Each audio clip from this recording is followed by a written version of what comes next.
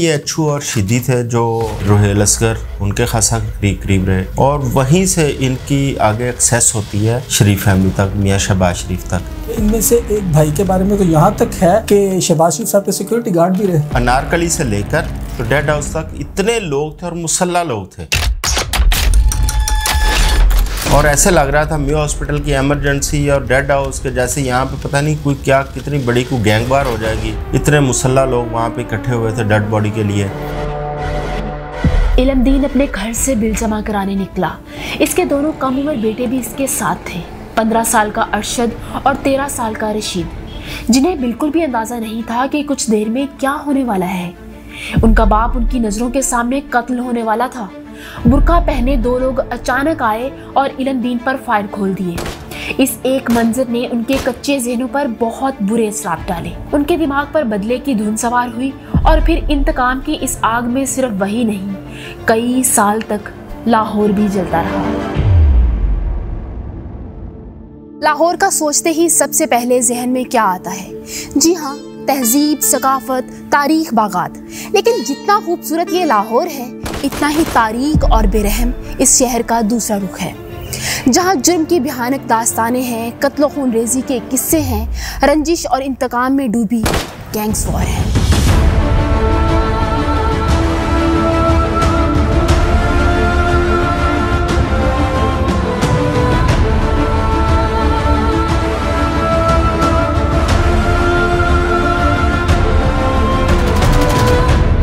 ये साठ की दिहाई थी।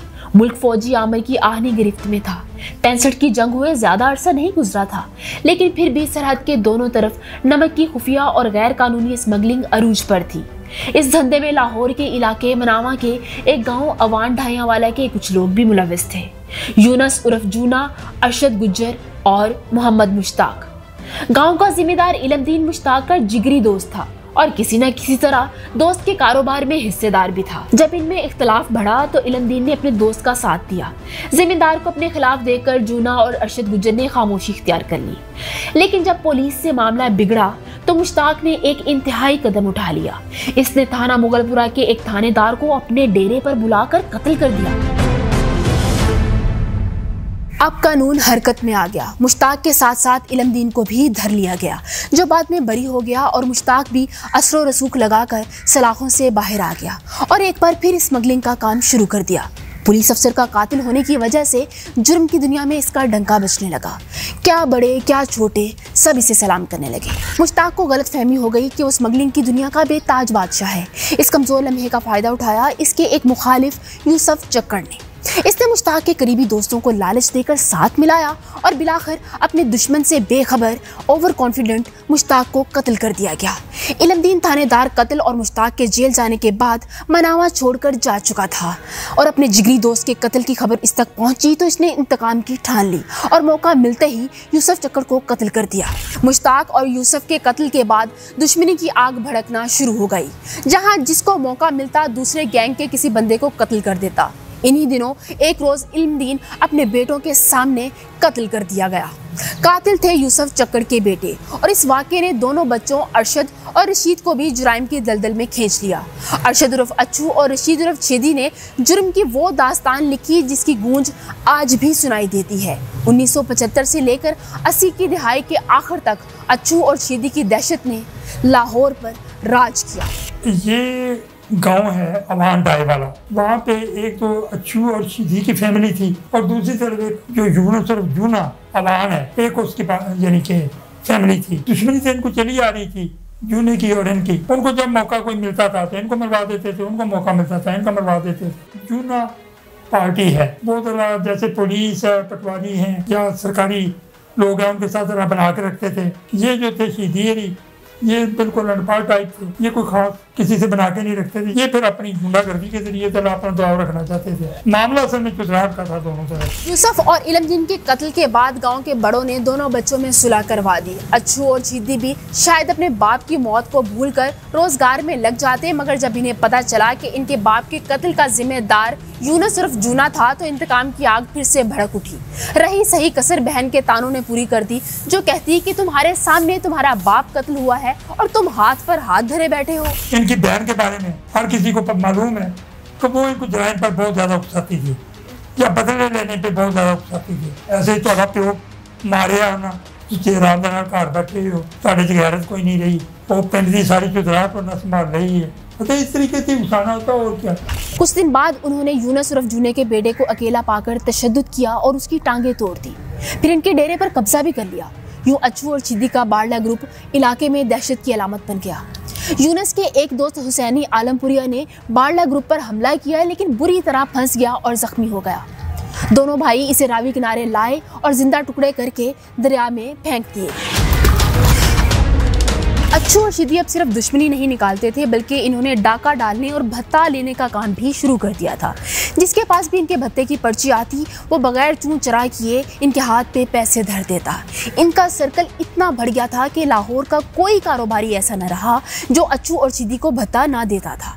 कहते हैं, एक बार शेजान फैक्ट्री के मालिक ने भत्ता देने से इनकार कर दिया, जिस पर इसका बेटा और मैनेजर अगवा हो गए। फैक्ट्री मालिक ने असरो रसूख लगाया और इनके गाँव पर पुलिस चढ़ा दी। अच्छू और शीदी तो पुलिस के हाथ ना लगे, लेकिन इनका बेटा और मैनेजर ज़रूर कत्ल कर दिए गए। इस जमाने में मियाँ मोहम्मद शरीफ का कारोबार भी लाहौर में था। जी हाँ मियाँ मोहम्मद नवाज़ शरीफ और मियाँ मोहम्मद शहबाज शरीफ के वालिद। इन्हें भी अच्छू और चीदी ग्रुप ने भत्ते की पर्ची भिजवाई थी। कहते हैं, मियाँ शरीफ इस वक्त अपने इन गैर सियासी बेटों के हाथ भत्ते की रकम भिजवाया करते थे। मियाँ मोहम्मद नवाज़ शरीफ के वाले साहब, मियाँ मोहम्मद शरीफ साहब, इंतहाई शरीफ आदमी थे अपने नाम की तरह। लेकिन एक वक्त आया कि जब ये राइजिंग डॉन थे, जो उभरने वाले डॉन थे, उनसे भी भत्ते की पर्ची भेजी। कोई भी शरीफ आदमी इस तरह के गुंडा अनासर के सामने कभी भी आँखें में आँखों में आँखें डाल के बात करने की ज़रूरत नहीं करता। सरेंडर करना पड़ा। पैसे भी देने पड़े। ये सब खुलेआम हो रहा था और कानून बेबस था। इसकी एक वजह तो ये थी कि अवान ढाइया वाला एक खुला इलाका था। पुलिस गाँव के कच्चे रास्ते पर चढ़ती तो आठ दस किलोमीटर दूर से ही पता चल जाता। दूसरी आम वजह पुलिस के पास मौजूद नाकस असला था। पुलिस की थ्री नॉट थ्री और बारह बोर की राइफल्स भला क्लाशन कोफ और स्टेन गन्स का मुकाबला कैसे कर सकती थी? इसलिए वो जब भी जाती खाली हाथ लौटती।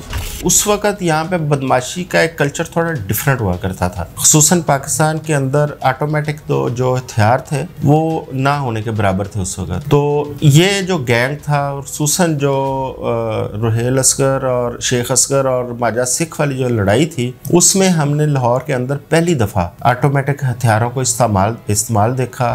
इन्हीं दिनों पुलिस के एक नामवर एसपी राना मकबूल ने अच्छू गैंग का एक कारिंदा पकड़ लिया। लेकिन ये ग्रुप कितना ताकतवर था। इससे अंदाज़ा लगाएँ कि अगली सुबह राना मकबूल के बच्चे अगवा कर लिए गए। तब न चाहते हुए भी पुलिस को बंदा छोड़ना पड़ा। वैसे दोनों भाइयों ने एक और हिकमत अमली अपनाई थी। जब मुकदमात ज़्यादा होने लगते तो एक भाई पुलिस के सामने सरेंडर कर देता। न सबूत मिलते, न किसी की हिम्मत होती कि इनके खिलाफ गवाही दे। यूँ बरी हो जाते। एक भाई जेल में होता, दूसरा गैंग चलाता। तो लोग थे। वो तो कोई बयान देने के लिए तैयार ही नहीं होते थे। और यही मेन वजह थी ना, जिसकी वजह से ये गिरफ़्तार नहीं होते थे। क्यों? जब मुदई जो है, वही पैरवी नहीं कर रहा केस की। तो पुलिस का तो फिर आपको पता ही है। पुलिस के लिए भी थ्रेट बन जाते हैं। दौरान तफ्तीश पुलिस किसी किस्म का थर्ड डिग्री मेथड अप्लाई नहीं करती इनके साथ। पुलिस इनको दामाद बना के रखती है। पुलिस इनके साथ वो जवाइयों वाला सलूक करती है। पुलिस को पता है कि इस बंदे ने एक दिन बाहर आना है और आज मैंने इसको अगर घूर के भी देखा तो I have to repay for that तो अकाउंटेबल पुलिस अपनी इज़्ज़त, अपनी जान पर जाती है। दहशत कर, दहशत की वजह बहुत आम है। कौन सा दिलेर पुलिस अफसर है मुझे बताए, जिसने बदमाशों की आँखों में आँखें डाल के देखी? तो अच्छू और चीदी की ये कार्रवाइयाँ चल रही थी कि बाप का कातिल यूनस उर्फ़ जूना जेल से छूट गया। डेरे पर तो इनके भाइयों का कब्जा था। इसलिए यूनस ने पहले अपने दोस्त और रिश्तेदार इकट्ठे किए और फिर मौके का इंतज़ार करने लगा ताकि अपना डेरा वापस ले। जहाँ जुर्म होता है, वहाँ कहीं ना कहीं किसी ताकतवर की आशीर्वाद ज़रूर होती है। चालीस सालों में ताकत ने कहीं ना कहीं जराइम की पुष्ट पनाही और मुजरमों की परवरिश ज़रूर की है। सत्तर की दहाई दहाई में लाहौर के दो बड़े ग्रुप, शेख असगर और माजा ग्रुप आपस में दुश्मन थे। माजा खिलाफ गुड्डू का ग्रुप संभालता था, जबकि असगर की दहशत की डोर अच्छू और चीदी के हाथों में थी। शेख असगर का बेटा रोहेल असगर भी सियासत में कदम रख चुका था, जो अपने दुश्मनों से निपटने के लिए अच्छू और चीदी का इस्तेमाल करता था।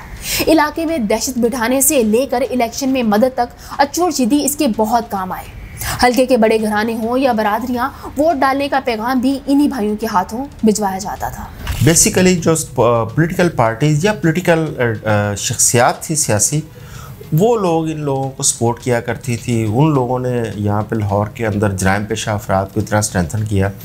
उन्हीं में ये अच्छू और शिदी थे जो जराइम की दुनिया के उस वक्त के बादशाह समझे जाते थे। जब ये इनको सियासी, थोड़ी सी पुश्तनाई मिलती है तो ज़ाहिर है फिर जराइम पेशा अफराद जो हैं, वो लिमिट से आगे चले जाते हैं, जिसकी वजह से लोगों को भी तकलीफ़ होती है, फिर सिस्टम को भी एक परेशानी का सामना करना पड़ा है। शरीफ फैमिली उनके भी खासा करीब रहे, फिर रोहेल असगर उनके खासा करीब रहे, क्योंकि रोहेल असगर की एक उनकी अपनी लड़ाई चल रही थी, माजा सिख और शेख असगर। तो उनकी आपस में दोनों ख़ानदानों की बड़ी शदीद लड़ाई थी और दोनों ख़ानदानों ने बहुत सारे जराम पेशा अफराद को अपने साथ अटैच किया हुआ था। ये बुनियादी तौर पर रोहेल असगर का जो ग्रुप था, उसके साथ अटैच थे।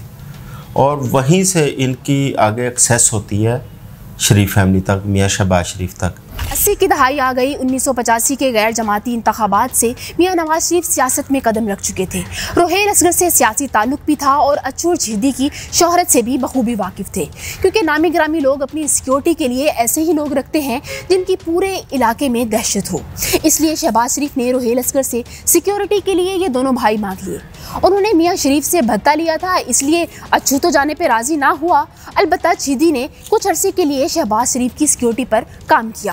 कहते हैं, एक रोज़ किसी बात पर शहबाज शरीफ ने चीदी को बुरा भला कहा तो इसने इन पर गन तान ली, जिसके बाद छोटे मियाँ साहब ने इनसे छुटकारा हासिल कर लिया। एक वक्त वो आया कि लाहौर की तारीख की जो सबसे खौफनाक दुश्मनी थी कि रोहेल असगर साहब वाली, शेख असगर साहब वाली, अच्छू छिदी जैसे लोग उनके साथ भी मावन रहे। अगरचे इनमें से एक भाई के बारे में तो यहाँ तक है कि शहबाज शरीफ साहब के सिक्योरिटी गार्ड भी रहे। ये मामला ना रुकने वाला था, लेकिन ये शॉर्ट टेम्पर्ड लोग थे एग्रेसिव लोग थे, देहाती लोग थे, इनमें अना बहुत ज़्यादा थी। एक बाप का एक बाप के कत्ल का बदला लेने के लिए जो सिलसिला इन्होंने शुरू किया था, अब ये अपनी इज़्ज़त को तो दाव पे नहीं लगा सकते थे। जो भी हो इन दोनों भाइयों का असल मकसद तो अपने बाप के कातिल की मौत था। यूनस पच्चर चार पाँच साल जेल काट कर आया था और तब से अचूर चिदी ने इसकी शक्ल ठीक से नहीं देखी थी। इसलिए चिदी दो मरतबा सेशन कोर्ट कचहरी गया ताकि यूनस को ठिकाने लगा सके। लेकिन पुलिस और लोगों की भीड़ भाड़ की वजह से दो मरतबा नाकाम लौटा। इस पर भाई अच्छू ने इसे बुजदिल और डरपोक होने का ताना दिया और तय कर लिया कि यूनस को वो खुद ठिकाने लगाएगा। इलेक्शन के बाद सफ्तर डडियाल एम थे। अच्छू ने कहीं आना जाना होता तो इन्हीं की गाड़ी में सफ़र किया करता, क्योंकि इसकी गाड़ी पर एमपीए की नंबर प्लेट लगी हुई थी और पुलिस नहीं रोकती थी। तो जिस दिन यूनस की पेशी थी, कहते हैं अच्छू सफ्तर डडियाल की गाड़ी ले आया। खुद भी यूनस को पहचानता नहीं था, इसलिए गाँव के एक शख्स बाबा अनवर को साथ बिठा लिया। गाड़ी सेशन कोर्ट में दाखिल हुई तो जैसे ही बाबा अनवर ने यूनस को देखा, इशारा कर दिया। लंबी मुंचे ताने अपनी मौत से बेखबर यूनस पर नज़र पड़ते ही अचू ने क्लाशनकोफ का ब्रस्ट खोल दिया। इसके बाप का कातिल बिलाखिर अपने इंजाम को पहुँचा। और ये काम करने के बाद अचू फरार हो गया। जहाँ बेइंसाफी होती हो इंसाफ ना हो वहाँ कभी कोई निज़ाम नहीं चल सकता। जिसकी सबसे बड़ी मिसाल यही शीधी और अचू की है कि जब इनको इंसाफ नहीं मिला तो उन्होंने फिर खुद यानी उठा लिया। माजा सिख और शेख असगर के दरमियान पुरानी दुश्मनी थी जो दोनों के कत्ल पर पहुँची। फिर रोहेल असगर और इखलाक गुड्डू ने इस दुश्मनी को आगे बढ़ाया। लेकिन सियासत तो है ही मुफाहमत का नाम। रोहेल और इखलाक सियासत में आ चुके थे और उन दोनों ने तय किया कि आपसी दुश्मनी खत्म की जाए। और दोनों की ये सुलह अच्छू और चीदी के अंजाम का आगाज़ था। तब रशीद उर्फ़ चीदी दो बार जेल जा चुका था और इसके मुकदमात भी खत्म हो गए थे। अब बारी थी अच्छू की कि वो जेल जाए और अपने मुकदमात खत्म करवाए। अब छिदी अकेला गैंग चला रहा था, मगर असल में इसके गिर्द मौत का जाल बुना जा रहा था। इसका दोस्त भोली, इसकी मौत की साजिश का मरकजी किरदार था। यकम अप्रैल उन्नीस सौ सतासी को भोली ने बच्चों के साथ सुलह के नाम पर छिदी को दाता दरबार बुलवाया। यहाँ वो काला खताई रोड पर एक घर में खाना खाने चले गए। तब छिदी के साथ इसके गैंग के पाँच और लोग भी मौजूद थे। यहाँ भोली ने खाने में नशावर दवाएँ मिलाई और फिर छिदी की टांग पर गोली मार दी। पुलिस को पहले ही मुखबरी कर दी गई थी। भोली भाग निकला और चीदी और इसके पाँच साथी आठ घंटे तक पुलिस मुकाबला करते रहे। बिलाखिर असला खत्म हुआ और चीदी अपने साथियों समेत मारा गया। पुलिस लाश लेकर जेल पहुँची ताकि अच्छू को अपने भाई का आखिरी दीदार करवाए। लेकिन ये देखकर अच्छू तैश में आ गया और पुलिस को संगीन नतज की धमकियाँ दी। बल्कि भाई के कत्ल की पादाश में अच्छू ने जेल में बैठकर मुखालिफ गैंग के बहुत से लोग मरवाए। मगर बलाई ईवानों में अच्छू की मौत के सरनामे पर दस्तखत हो चुके थे और अब बस इस कार्रवाई को अंजाम तक पहुँचाना था। तेरह अप्रैल उन्नीस सौ सतासी को अच्छू को जेल से निकाला गया ताकि अदालत में पेश किया जाए। मगर इसे अदालत में पेश नहीं किया गया, बल्कि 14 अप्रैल को अखबारों में सुर्खियाँ लगवा दी गईं कि पेशी के लिए जाते हुए अच्छू के गैंग के साथी इसे छुड़ा कर ले गए। पुलिस ने अखबार में गोलियों से छलनी पुलिस वैन की तस्वीरें भी लगवा दी। लेकिन असल में अच्छू को एक नामालूम जगह पर रखा गया था। अहले खाना रोहेल अस्कर के पास गए, जिसने इन्हें बेफिक्र रहने की तसल्ली दी। मगर कहानी कुछ और थी। अच्छू की मौत का वारंट रोहेल असगर की ताइद से ही निकला था। अगले रोज पुलिस ने अच्छू को गोलियों से छलनी करके लाश इसके घर भिजवा दी। बाद में उनकी हवेली पर दुश्मनों ने कब्जा कर लिया और अच्छू और छेदी की माँ और बहन गाँव छोड़कर गुमनामी में चली गई। पुलिस ने पूरा एक ड्रामा प्लान करके ड्रामेटाइज तरीके से ये बताया कि जी हमारी कस्टडी से वो भाग गया है।